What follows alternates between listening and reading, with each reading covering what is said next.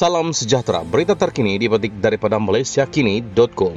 Bertajuk Pak Lah Hidap Penyakit Nyanyuk.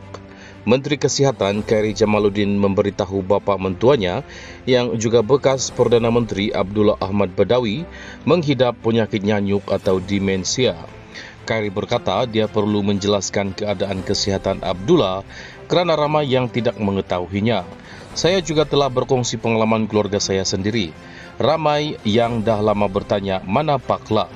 Saya tanya kepada isteri saya dan juga kepada mentua saya, ipar saya, ada yang tak tahu, ada yang tahu. Jadi boleh tak saya bagi tahu? Paklah memang ada demensia katanya.